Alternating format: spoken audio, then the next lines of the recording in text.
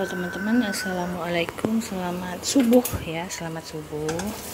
Ini aku cep, apa kesiangan ini subuhnya.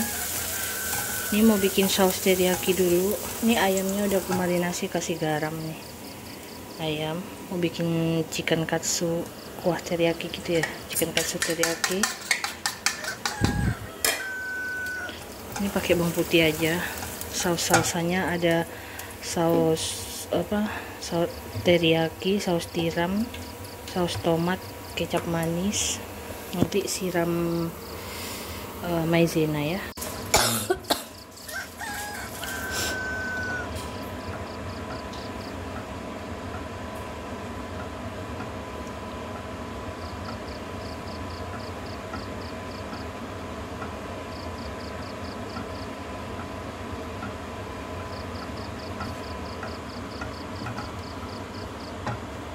ini balur ke sini dulu ke tepung terigu biasa.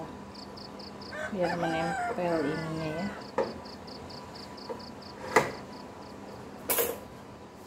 Ribet. Baru ke, ke telur.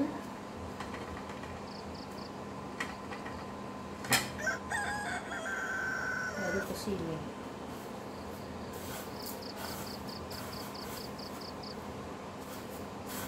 ini ayam uh, dada dada ayam bisa pakai uh, apa namanya? Aku pakai bagian pahanya ya. Yang tanpa tulang belinya.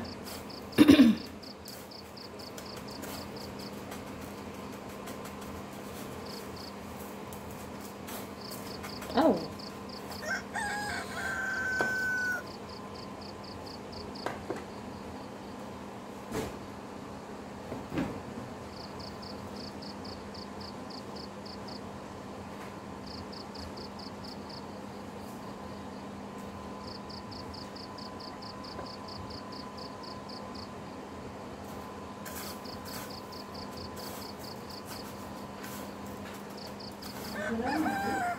Enggak.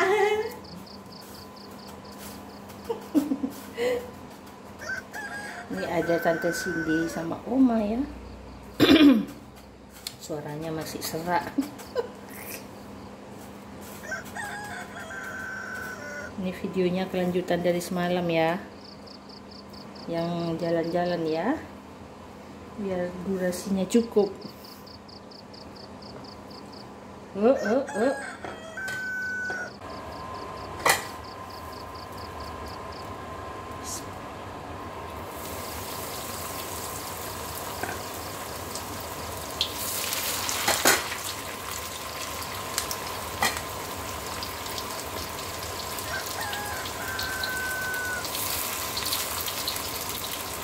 Oh, cepat sekali ini. Ini ya terlalu panas apinya tadi. Yang pertama. Ini udah dikecilin.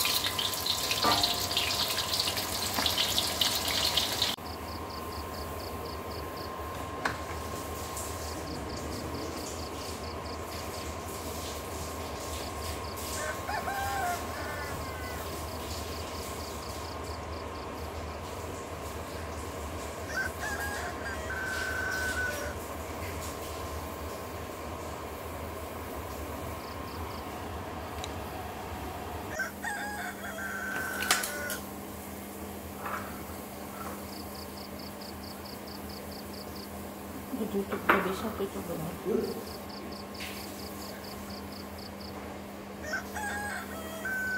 Ini nasi sama itu ayamnya udah dipotong-potong biar gampang nanti makannya.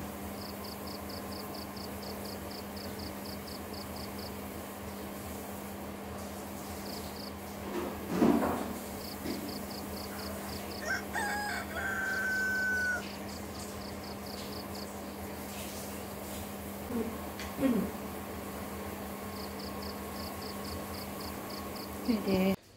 Ini belum selesai ya untuk lauk di rumah nanti juga ini ayam katsu ya.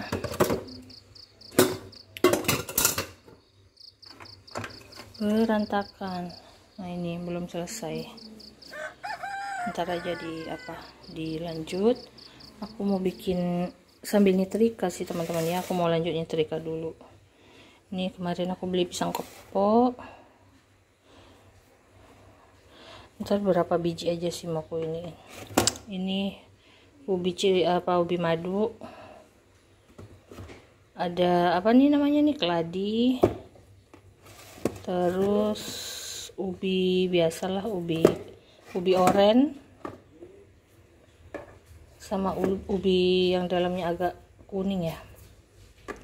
Mau aku rebus aja deh sudah jadi nih teman-teman masih ngepul ya keladinya. Uh, pisang udah aku belah-belah ya. Ini direbus aja. Mau dikukus pun boleh tapi lebih empuk direbus sih. Masih ngepul ya. Enak sekali ini. Mari sarapan. Selamat beraktivitas untuk teman-teman semuanya ya Halo teman-teman, Assalamualaikum. Selamat sore. Ini habis asar ya.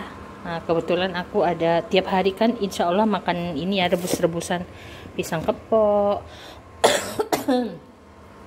Ya mau dikukus, mau direbus.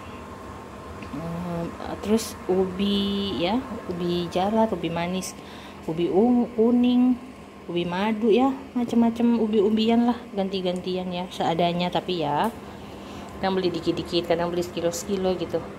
Terus talas ya. Nah ini juga nih talas nih talas dan ubi. Nah ini aku pengen buatin uh, apa sih ini kolak biji salak ya. Kolak apa sih bubur candil lah biji salak lah pokoknya lah itulah jadi pakai aku nggak pakai takaran ya teman-teman. Jadi ini ada dua tadi besar-besar. Jadi aku rebus ya. Mau dikukus silahkan. Aku rebus aja deh. Males ngeluarin kukusan. Rebus sampai betul-betul empuk. Tepungnya pakai tepung tapioka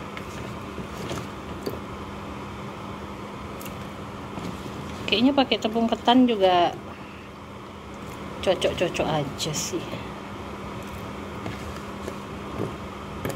Tapi aku pakai tepung tapioka aja deh. Hmm, aduh. Tuh.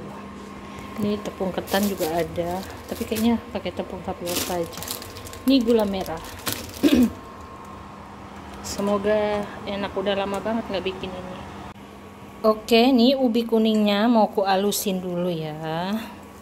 Ingat kalau panas-panas jangan pakai yang plastik pakai aja yang keramik ataupun stainless ya. Ini mau pakai ulekan aja deh. Oke nah ini sementara aku mau rebus ini dulu.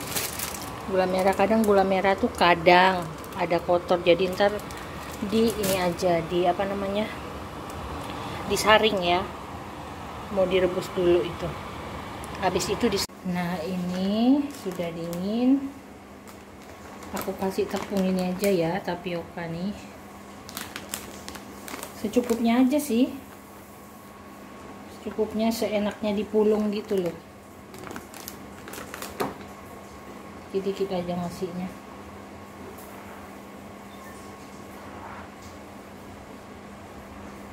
Masih hangat pokoknya bawahnya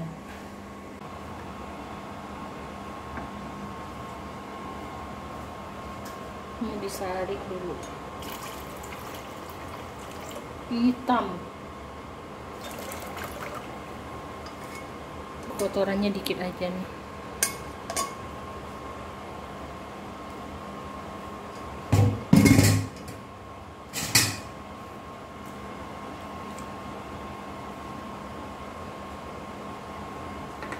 Naknya ya sore-sore ya kan? Sambil lihat burung-burung di depan. Nah ini dia. Nah. Dulu ah, foto dulu foto. Oke.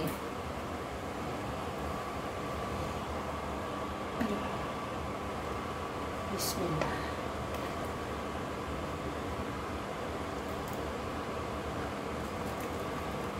Wah lumayan juga ya. Lumayan akeh ini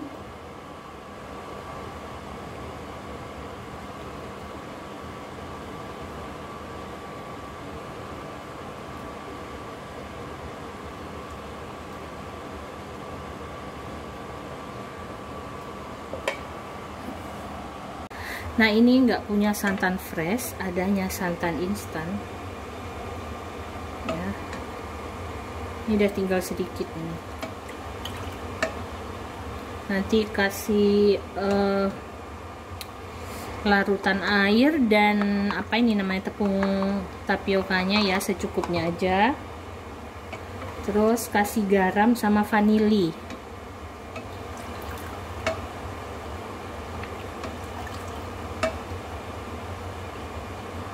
oh ininya lupa daun pandannya lupa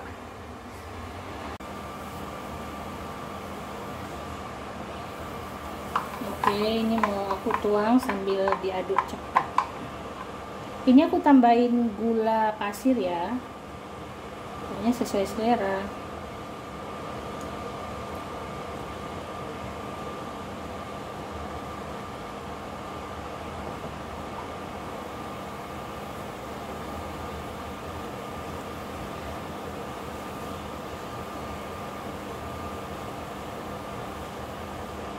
Oke nih kurang sedikit lagi.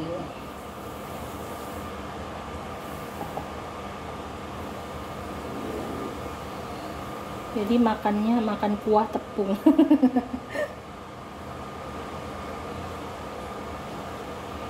Nah, oke nih pas. Tuh pas. Gini nanti kan uh, kalau sudah agak dingin agak kental lagi kayaknya ya kayaknya tapi memang lebih enak yang kental sekali. Nanti kan dikasih kuah lagi deh. Oke meletup meletup.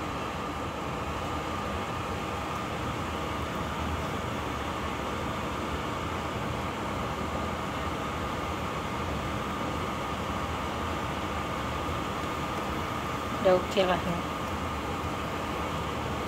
Oke selesai. Tinggal bikin kuahnya nih belum ya? Barusan ada paket oleh-oleh dari sahabatku di Jambi. Tepatnya di Kuala Tungkal nih Alhamdulillah. Dia mama uh, mamanya balik jenguk kakaknya di Batam. Oh, ini besar loh.